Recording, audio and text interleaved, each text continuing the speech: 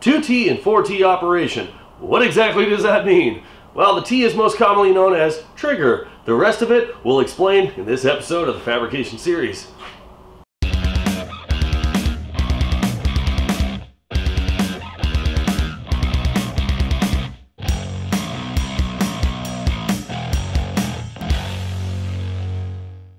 Alright, now in the Get a Grip episode, we went over 8 different ways to hold a TIG torch, and the final grip shown was using this trigger mounted to a torch instead of using a foot pedal to control the machine.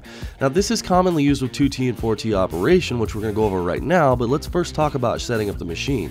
Now pre-flow is an optional deal, some machines have them, some machines don't, but it's a programmable amount of time to initiate the argon flow before the arc initiates. Next we have our starting amperage. Now the starting amperage is after the arc is initiated, how many amps you want that to be set at before we get into the upslope. So in this case it's 10 amps is what I'm showing you. Now the upslope is a certain amount of time you want it to transition from your startup amperage to your main welding amperage. So this is X amount of seconds. So in this case we're going to say 3 seconds to go from our startup amperage to our main welding amperage. Now the main welding amperage is what it's going to be at maximum. So whenever that, that gets into that mode of maximum amperage, that's exactly what you're going to get. No deviation from it until you hit your downslope. Now the downslope is exactly the opposite of the upslope. A certain amount of time programmable to go from your main welding amperage to your ending amperage. Now the ending amperage allows it to taper off and allows you to get a nice little stable arc at low amperage before the arc terminates and you get into your post flow settings. Now the post flow settings is the amount of argon you want to flow after the arc is terminated. So now that we have that in mind, let's actually take a look and see each of these modes as we go along through them.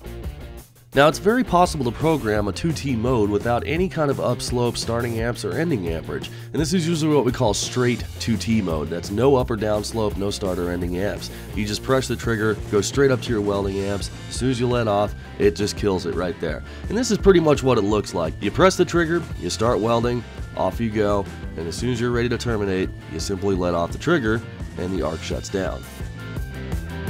Just like that. Now let's take a look at 2T operation with up and down slope. Now the upslope timer begins at the starting amperage and the downslope timer terminates at the ending amperage. So what that basically looks like is as soon as you press the trigger, pre-flow goes, upslope begins at starting amperage, you go through your welding amps, as soon as you let off the trigger, the downslope cycle begins and terminates at your final amperage. So as I depress the trigger here, you'll see the arc initiate very weak and over the course of the next 3 seconds, it's going to slowly build up and go into full welding amperage, which we set at 100 amps. So I'm going to start running my bead and get everything going. And as soon as I'm ready to quit, I'm going to let off the trigger and then my arc will start going down into our ending amperage, which ends and terminates at 3 amps. And then the post flow cycle begins. Now let's take a look at some 4T with up and down slope. Now this is a little bit confusing, but this is basically controlled by doing 4 triggers instead of 2 triggers to do it based on a press and hold command.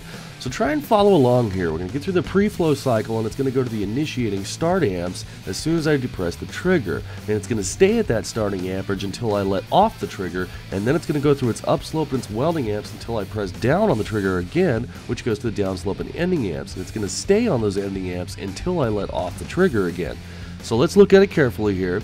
I'm going to initiate, I'm going to hold that trigger, and I can dance around and do whatever I want here because I'm on my starting amperage. It's not going to ramp up until I let off the trigger, and then it's going to go through the upslope timer and into the welding amps. And it's going to stay here as long as I want it, or at least until I press the trigger yet again for the third time, and that's going to bring it to its downslope and get into its final amperage. So that 5 second downslope down to 3 amps being stable here, I'll just dance around and play with it again until I'm done and I'll let off the trigger again. Boom, now it's finished. That's your 4T cycle.